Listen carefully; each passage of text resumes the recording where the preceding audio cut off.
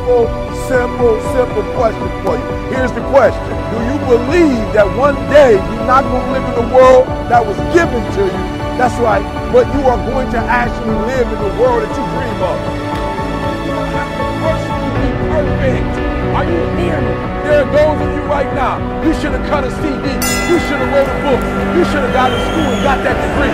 You should have started your own business. There's so many things you should have done. You should have done, but you didn't do it because you're He, I ain't scared. You are scared. You are scared. You're scared of failure. You're scared to make a mistake. You're scared that you're not perfect. And I'm telling you today, you ain't got to be perfect.